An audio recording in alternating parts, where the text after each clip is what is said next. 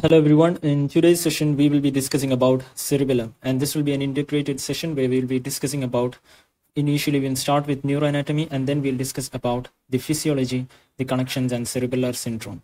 So, in neuroanatomy, we'll be going through the external features, then the internal structure of the cerebellum, and finally the functional division, which is important when it comes to the physiology of cerebellum, where we'll be discussing about the internal connections and finally about the cerebellar syndrome or what happens when there is a problem with the cerebellum. So let's begin with the external structure of cerebellum. So as you might already know, the cerebellum is located posteriorly in the cranial fossa, that is in the posterior cranial fossa.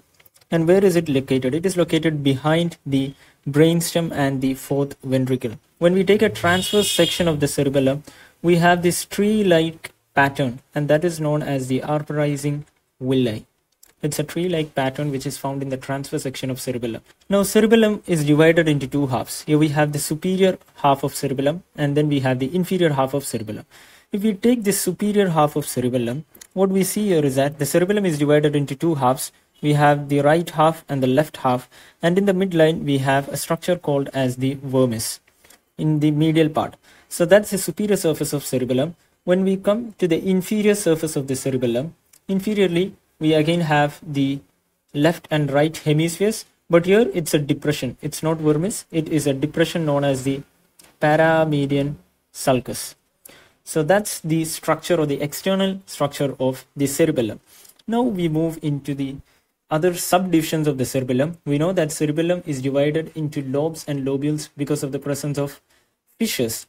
Now to understand this diagram which we have here this is actually a laid out diagram of cerebellum. For example, if this is how the cerebellum looks in our previous picture, if we lay it out flat, so cerebellum has a horizontal fissure and this horizontal fissure divides the cerebellum into superior and inferior surfaces. So this is our horizontal fissure and this has divided the cerebellum into a superior part and then we have the inferior part of cerebellum. In addition to that, there are two other fissures. The first one is the primary fissure. So this is our primary fissure. And the third fissure that we have is the posterolateral fissure. So the horizontal fissure, as I have said, it divides into superior and inferior hemisphere. What does the primary fissure do? The primary fissure divides the cerebellum into two lobes. The part that is anterior to the primary fissure is called as the anterior lobe, whereas the rest of the cerebellum, which is posterior to the primary fissure, is called as the posterior lobe. So in this figure, this one corresponds to the and primary fissure and the region that is anterior to the primary fissure corresponds to the anterior lobe whereas the rest of the cerebellum it corresponds to the posterior lobe. And we have a flocculonodular additional lobe as well which is actually present over here at the inferior surface of the cerebellum. So that's the external feature of the cerebellum its lobes. And in addition to these lobes each of these lobe contains additional lobules as well now we'll discuss about the functional division of cerebellum. This is important when it comes to the physiology of cerebellum and what happens when there is a dysfunction to the cerebellum. So functionally there are two types of classification and they are two actually interrelated. So the first one is as we know in the middle part of cerebellum we have the vermis. So it is depending upon the location in the cerebellum that is there is the vermis and laterally to the vermis we have the para vermial region. Lateral to the paravermial region, we have the lateral part of cerebellum or the lateral cerebellum. So this is one classification. The other classification is one is vestibulocerebellum. The secondly, we have the spinocerebellum and the latest part that is the neocerebellum. Now these three are actually kind of related in a sense. The vestibulocerebellum, the part of the cerebellum which corresponds to that is this flocculonodular lobe. So the flocculonodular lobe corresponds to the vestibulocerebellum and as we know it is concerned with the vestibular apparatus. So the function of this part is to maintain the equilibrium of the body. That is the main function of the vestibulocerebellum then we have the spinocerebellum which we know as the name suggests it is related to the fibers coming from the spinal cord. And the spinocerebellum it is actually involves parts of the anterior lobe. So anterior lobe is mostly involving the spinocerebellum. The function of the anterior lobe is to maintain the posture and muscle tone. So it is related with maintaining the posture and muscle tone. And finally, we have the neocerebellum. The neocerebellum is the lateral part of cerebellum. The neocerebellum is related to the posterior lobe and it is concerned with planning and coordination of movements. So that's the functional division of cerebellum and we'll be coming to this topic when we discuss about the physiology. With that, we now move into the internal structure of cerebellum. So just like the cerebrum, cerebellum is composed of both gray matter and white matter, but there is a difference. We know that in the cerebrum, in the cerebrum, there is an outer cortex of gray matter and then there is an inner white matter. Whereas when it comes to cerebellum, the gray matter is present firstly outside, that is the cerebellar cortex. But along with that, there are parts of gray matter which is present within the white matter and they are called as the deep nuclei. Now the cortex is again arranged into the three layers consisting of five different cell types and the deep nuclei there are four deep nuclei. So the cortex, as I have mentioned, it's arranged into three different layers. We have an external layer, we have a middle molecular layer, and then we have an inner layer. In the cortex, we have two types of cells, that is the stellate cells or the stellate neurons, and then we have the basket-shaped neurons or the basket cells. The molecular layer, which is the most important part, and in the molecular layer, we have the Purkinje cells or the Purkinje neurons. In the innermost layer, we have two types of cells. One is going to be the Golgi cells and along with that we have the granular cells. So this is the structure of the cortex. Now what we need to understand functionally is that except for the Golgi cells, all the other neurons are inhibitory. So stellate neuron has an inhibitory function because it releases the neurotransmitter GABA Basket cells are also inhibitory. The Purkinje fibers are inhibitory. The granular neurons are also inhibitory.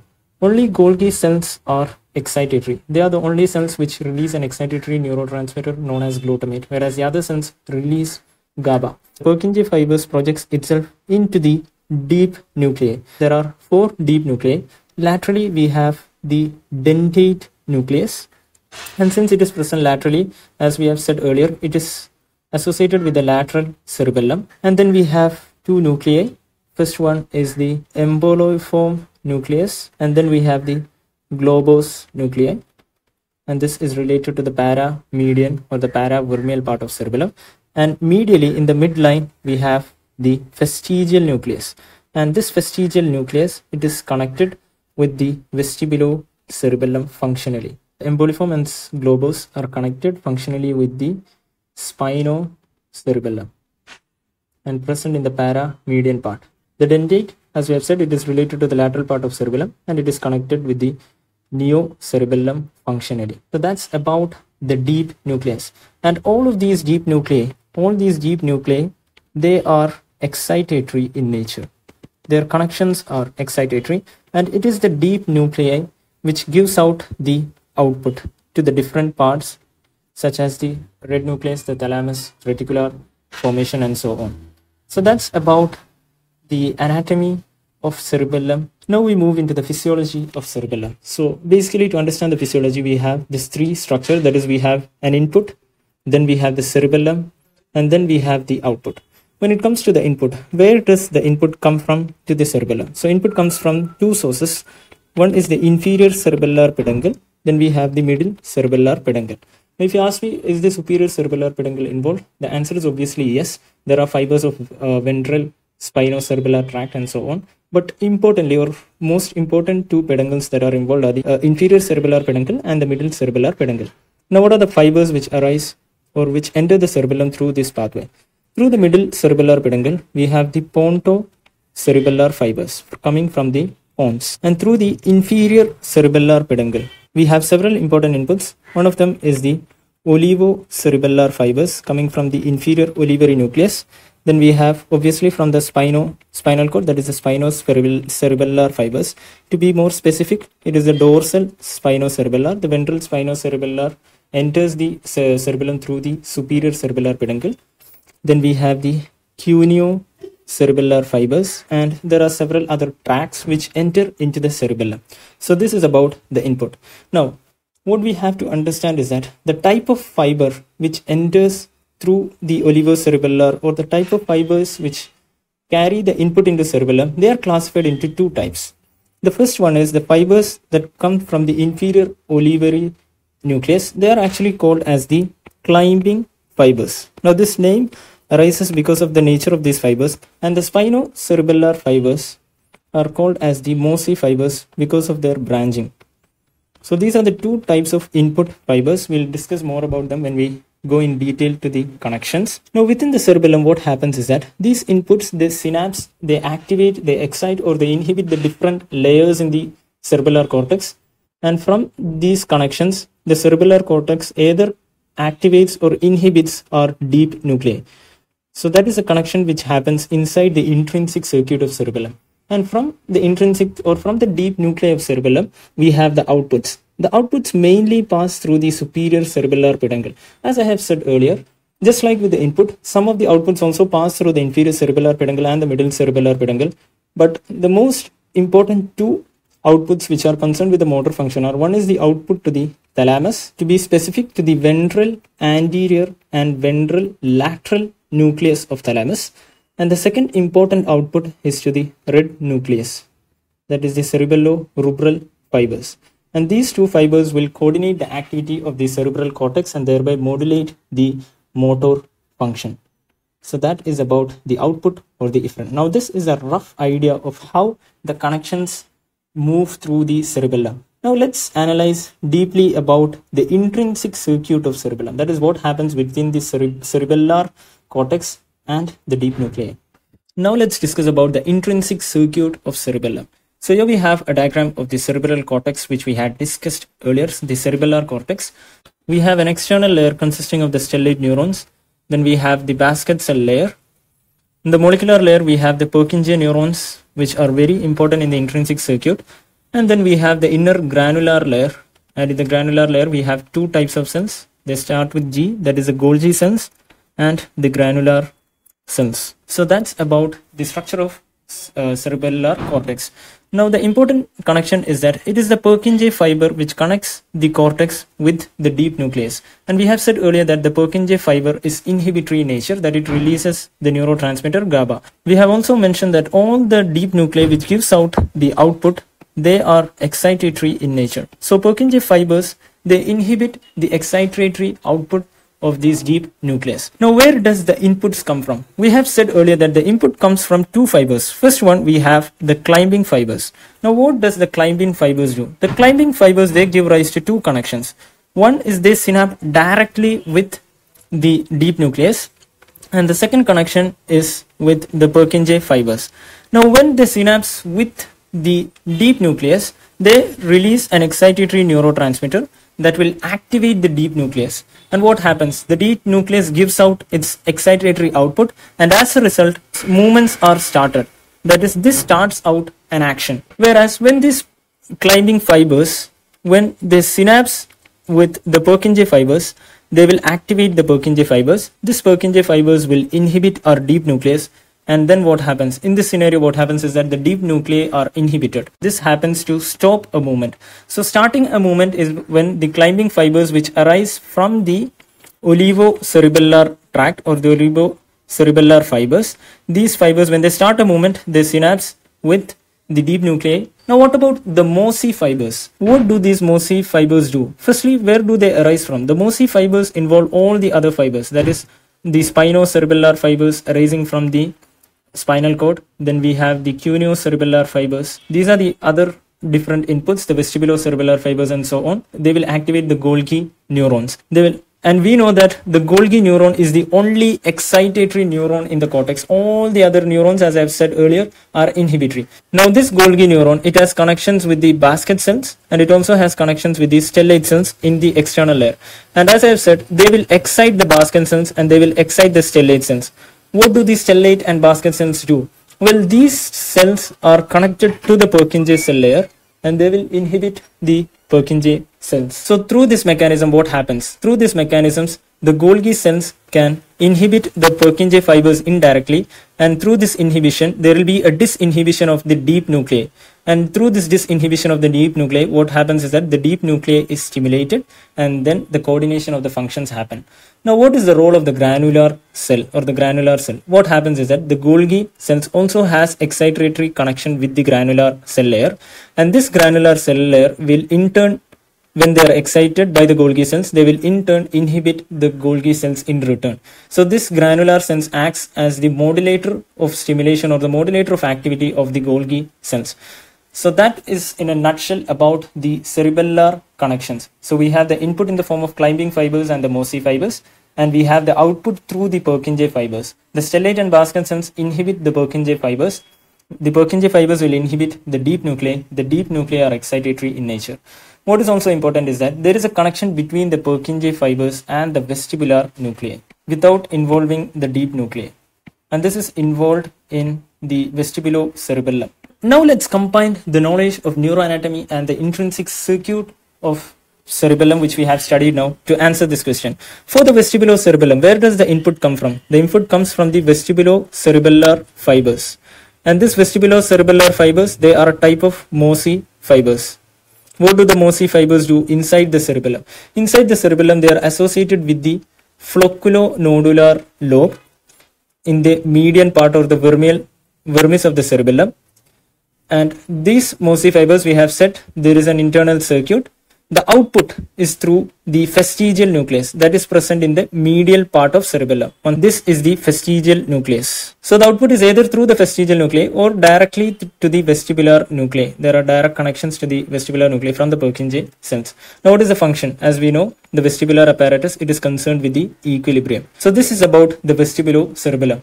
In a nutshell what we can say is that most of the vestibular functions they happen through the middle part or the medial region of the cerebellum. Next up we have the spinocerebellum. Now where does the input come from? The input comes from the spinal cord through the spinocerebellar fibers. Inside the cerebellum this is again a type of mossy fiber. It is associated with the most parts of anterior lobe and the paramedial or the paravermial region of the cerebellum.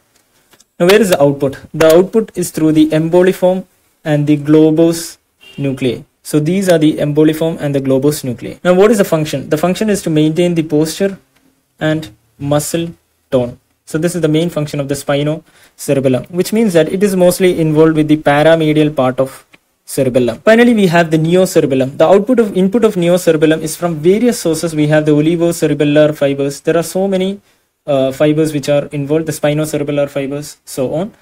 And inside the cerebellum, it involves most parts of the posterior lobe. We have both the climbing fibers and the mossy fibers are also involved in the input of neocerebellum. Now, where is the output? The output is through the dentate nucleus, and we know that the dentate nucleus is concerned with the lateral part of cerebellum. So, it is the lateral cerebellum, and the function of this is coordination of movements and planning of highly skilled movements. The cerebellum is mostly concerned with the lateral part of cerebellum. So that's a nutshell of the different parts of cerebellum and how the connections go. So now we have integrated the neuroanatomy with the physiology part. Finally, let's end with the cerebellar syndrome or what happens when there is a dysfunction of cerebellum. What we need to understand, the first point is that the symptoms are going to be ipsilateral. That is when the left cerebellum is affected, the left part of body is affected and when the right cerebellum is dysfunctioning, the right part of body is affected. And there could be involvement of lateral part or the medial part. When the lateral part is involved of cerebellum, the extremities are affected. That is the dentate nucleus is affected. When the medial part is involved, there is going to be truncal involvement is more. So what happens? There could be truncal ataxia could be there. The patient cannot sit down or falls while trying to sit down. When the extremities are involved, there is going to be dysmetria. That is the calculation of movements will be lost. A patient cannot grab a, a thing like uh, a patient is unable to grab a glass of water. The calculation errors happens. There could be dysdiadochokinesia which means that the alternate supination and pronation movements of hand is not possible. So these are some of the symptoms. That is the extremities are affected in the lateral cerebellum and when the medial cerebellum is dysfunction there could be truncal symptoms. So now this is a code that you need to remember for the symptoms of cerebellar dysfunction and that is the code vanished. V stands for vertigo. A stands for ataxia. Ataxia is a very common symptom in all cerebellar dysfunction and it should be the cerebellar ataxia must be differentiated from sensory ataxia. Sensory ataxia is when the posterior column is involved or damaged, whereas cerebellar ataxia is when the cerebellum is damaged. Now, how do we know this? The differentiating point is by the Romberg sign. What happens is that in sensory ataxia, ataxia occurs when the eyes are closed, whereas in a cerebellar ataxia, there is ataxia even with the eyes open. So when you have ataxia even when the eyes are open, that is cerebellar ataxia. Now N stands for nystagmus. Vertigo and nystagmus, they are actually due to the involvement of the vestibulocerebellum. So damage to the floccular nodular lobe can give rise to vertigo nystagmus. Ataxia happens in damage to any part of the cerebellum. Then the important one, which is very, very important, and that is intention tremor. Now there is another type of tremor that is known as resting tremor. When tremor occurs when a patient is at rest, it is a sign of Parkinsonism. That is, basal ganglia is involved. Whereas intention tremor is when a patient is intending to do an activity. So tremor happening when a patient intends to do activity is called as intention tremor and this should be differentiated from resting tremor which occurs during rest. And S stands for slurred speech. Why is there slurred speech? Or in other words, there could be dysarthria.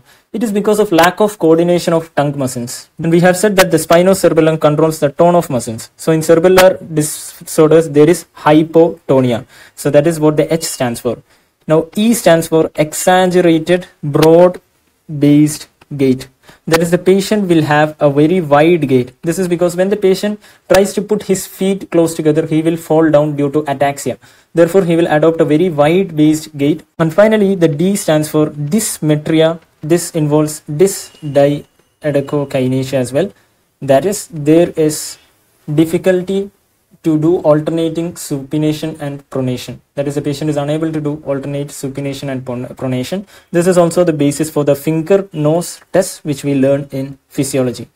So, in a nutshell, that is about the neuroanatomy of cerebellum, the physiology of cerebellum, and the symptoms which happen when there is a disorder of